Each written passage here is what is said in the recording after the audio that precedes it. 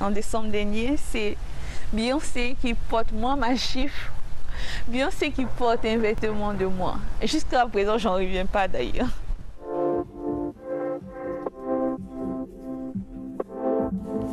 Il y a une chose qui est sûre dans la vie, c'est que plus tu commences petit, plus tu n'as rien à perdre.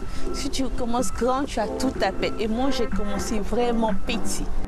J'ai créé la marque Yebe Design euh, dans les années 2015. J'ai commencé, j'avais juste ma machine à coudre et moi seule dans mon atelier. Je n'ai pas le moyen financier, je connais personne qui peut me donner autant d'argent pour commencer une entreprise. Donc j'ai commencé avec mes propres moyens. Au fur et à mesure, je vendais et au fur et à mesure, j'achetais une machine. J'employais une deuxième personne à pas moi. Je vendais, j'achetais une deuxième machine, j'employais une, troisième personne. Et au fur et à mesure, c'est parti tout doucement. Il y a moi, il y a ma personnalité, il y a mon savoir-faire et il y a ma vision des choses. Alors, en ce moment, on est à Bassam, euh, dans le quartier France. Et là, on va coiffer euh, les mannequins. Et pour pouvoir commencer le shooting. Alors là, on est chez le coiffeur. Vous nous suivez?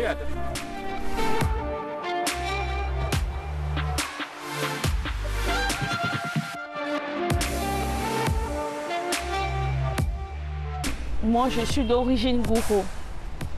Et chez nous, les gourous, les femmes gourous sont reconnues pour être des femmes fortes, des femmes battantes, des femmes très charismatiques. Et je sais à la fois de représenter ça vraiment dans mes collections. L'idée de Yébé, c'est vraiment ça, c'est de mettre vraiment la femme africaine, la femme ivoirienne au, auparavant en fait. On va shooter là, c'est pas le paradis ça. Ça, euh, c'est le, plaisir qu'on a en tant que designer, se retrouver dans des endroits assez intéressants, géniaux, des endroits inspirants où on peut, on peut montrer sa créativité tout en montrant sa culture et tout aussi en, montant, montrant euh, l'environnement, le paysage ivoirien. Je me suis dit, dis, écoute, écoute, Rebecca. D'abord, tu n'as pas assez de moyens pour commencer. Euh, tu n'as pas la logistique qu'il faut c'est sûr que tu ne peux pas faire une robe aussi classe que l'autre ferait là-bas. Qu'est-ce que tu peux faire? C'est juste te servir de ce que tu as. Et ce que tu as, c'est ta culture. Ce que tu as, c'est ton savoir-faire. Ce que tu as, c'est ton quotidien. Et c'est juste ce quotidien-là, le mettre en valeur tout simplement.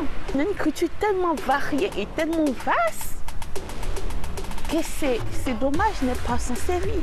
On a tellement une main-d'œuvre extraordinaire ici. On a des savoir-faire, on a des artisans, on a des peintres. On a... Et puis en plus, ce sont des jeunes des jeunes ou des personnes qui veulent travailler, qui ont ce savoir-faire. Donc pourquoi ne pas travailler avec eux et aller travailler ailleurs? Ça ne sert à rien. D'ici quelques temps aussi, euh, je compte faire un atelier un peu plus grand que celui que j'ai maintenant pour pouvoir produire ici en Côte d'Ivoire, pour vraiment développer le côté prêt-à-porter. Donc c'est en même temps développer mon business et à la fois aussi créer des emplois. Mon rêve le plus fou, ce que vous pouvez me souhaiter, c'est d'ici au maximum 5 ans qu'il y ait une boutique Yébé dans chaque grande ville.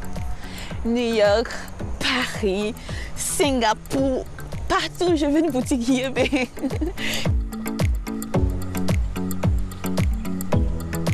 Le premier conseil, c'est de se lancer. Il faut. Il faut se lancer.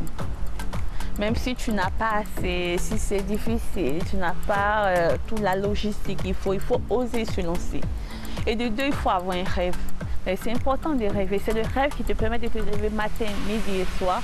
C'est le rêve qui te permet de faire chaque étape à étape. Et c'est important dans la vie de poser les étapes. Et de deux, essayer d'être différent.